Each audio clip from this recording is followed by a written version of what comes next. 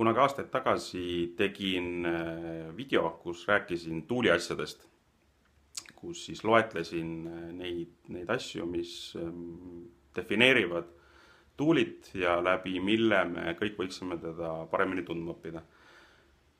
nüüd on läinud mööda mitmed aastad ja ma võin öelda, et olen äh, suure läbimurde ääres et olen leidnud ühe asja, mis võib-olla kõige paremini kirjeldab ja avab äh, tuuli olemust. et kuigi võib olla skeptiline selle suhtes, et kas on üldse olemas sellist materiaalset asja, mis inimest võiks kirjeldada, siis äh, mina leian, et, et äh, nendest asjadest ikkagi annab pisikeste kildude kaupa midagi kokku panna ning see midagi näitab inimesest.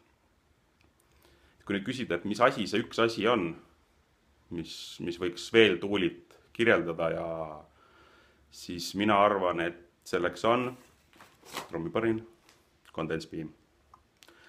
see purgitäis seda valget magusat asja, see on midagi, mis on ilmselgelt tuulil kaasas juba lapsepõlvest saadik.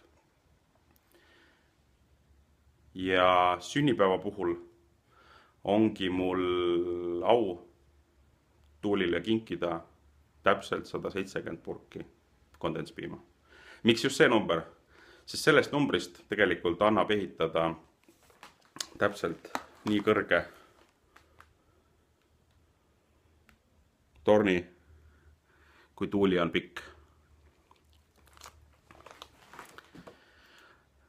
aitäh, Tuuli, palju õnne, musi-musi